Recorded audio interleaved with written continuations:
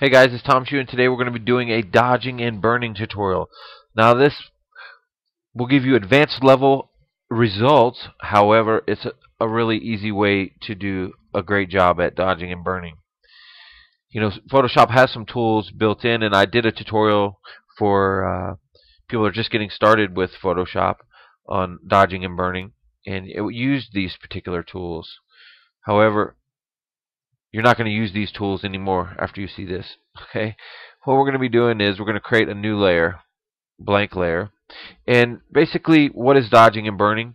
Dodging is making something brighter, and burning is making it darker. So think of it as a fire. You catch something on fire, it gets burned, it turns black, so that's the dark area. So people get confused. So you see the shadow area?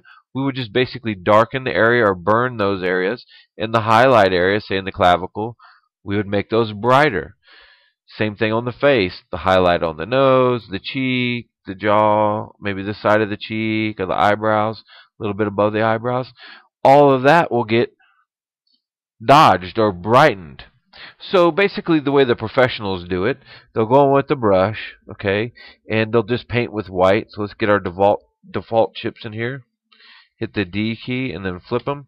So they would go in with white, okay, and they would paint they would use a tablet and they'd be very careful and they would paint in the area something like that. Maybe the brush is a little bit too hard there. And maybe I'll turn my flow down to maybe somewhere around 10 or something like that. And these a nice soft brush. And they come in and they paint these these highlight areas. Maybe down the nose a little bit. Come over here. And if you're really good and skillful and you take your time, you can come in here and beautify your image by making the highlights lighter and the shadows darker. Okay, so oh, let me undo that one. I don't like that one. Maybe it was a little bit more over here on the face. Okay, and then definitely down here on the clavicle, you can see that's supposed to be highlighted a little bit. So is this. Maybe a little bit back over in here. Well, that's too much. Okay, something like that. Come in here and hit this stuff. So this is what they do. They just with a a professional artist's touch, they come in and they lay in this beautiful highlights.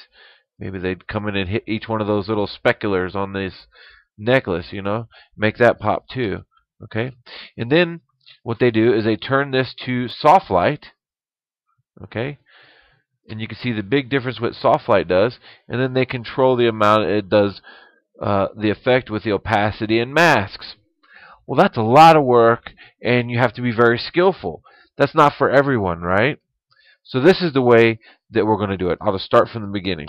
Delete it. Itself and start with the blank layer.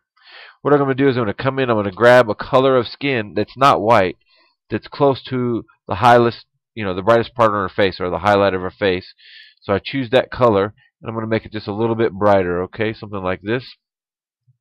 Alright, now on this layer, let me zoom back a little bit. With the paintbrush, I'm just going to paint over everything. Okay, let's get our opacity right, and our, let's turn our flow all the way up. It doesn't matter. I'm just going to paint everything on this scene. Okay, paint it white, or paint it that skin tone color. Alright, so there we go. So now we've got this. Well, what we'll do is we'll change the blend mode to soft light, okay? And then we're going to double click this, and there's a a function inside these uh, layer styles, which are blending options, okay? Does all your effects stuff, drop shadow and stroke for your letters, but it also is blending options. So we can do blend if gray, okay? Gray leads to black. So what we're going to do is we're going to come over here to these two little triangles. Looks like a like a tent or something.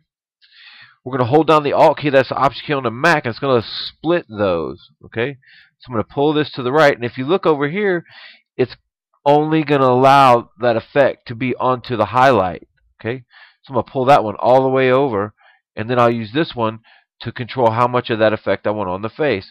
I'm going to leave a little bit over what should be done, just so you can see what's going on easily. We click OK. Okay. Now if we zoom in a little bit, you can see that before and after it applied that effect only to the highlights. Okay. The brightest portions of her face. Alright. So we do the same thing for the shadow. Make a new layer. Okay. Except this time we're going to be painting with a dark skin tone. So I'm going to come over here and I'm going to select one of the darker areas of her face, maybe something like that and then I'm going to pull down and make sure that it's darker than that skin tone. We click OK. Alright? So let's zoom back a little bit here. And I'm just going to paint the whole image with this brush. Okay, you really don't have to, but I'm just going to paint it all with this brush.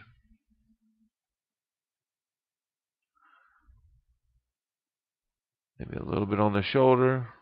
Alright, that looks good. We'll change this blend mode to soft light. Alright. And then what we're going to do is we're going to double click that, go back into its blending options. And instead of using the shadow side, we're going to blend to the shadow side. So we're going to grab the highlight side.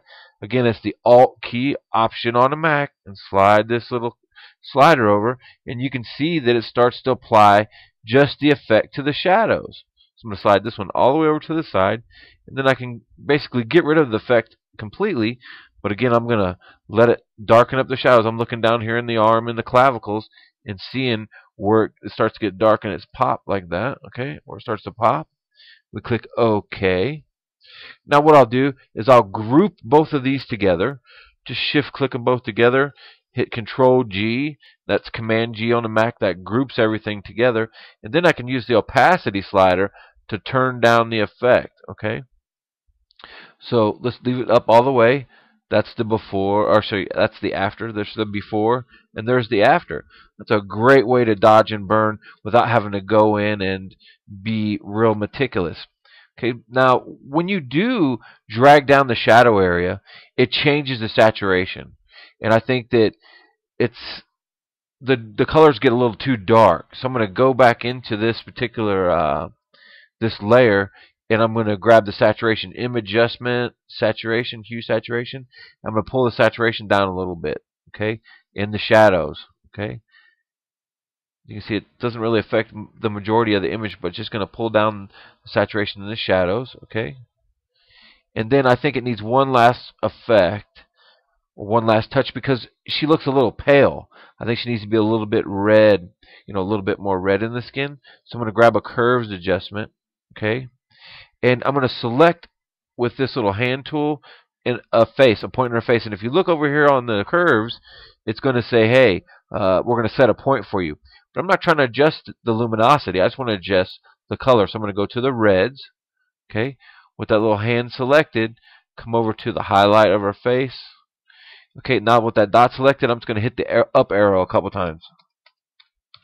Maybe two give a little bit of color to her face. And I'm going to come to the blues and I'm going to add a little bit of warmth. Okay? So what's the opposite of the blue, right? It's the yellow, it's the cyan. So that will warm up the image. So I'm going to do the same thing with this hand tool selected. I'm going to make a point somewhere in the face like this. There's our point. I'm going to use the down arrow and click it a couple times. Maybe three, two, three. And that gives it a little bit of color to her skin. It warms up the the the skin tones so it looks like skin tone. She doesn't look like a vampire or something like that. So that was before the color. That's after the color. So we can turn off the color. We can turn off the uh, dodging and burning. We can turn off the skin. We can get back down to the raw image because the raw image is right there. That's it. Non-destructive workflow, dodging and burning. Sorry the tutorial was so long, but I want to show you how to do it, get professional results without all of the uh, hassle of being a professional. thanks, thanks for taking time to, to visit today. Until next time, we'll see you soon.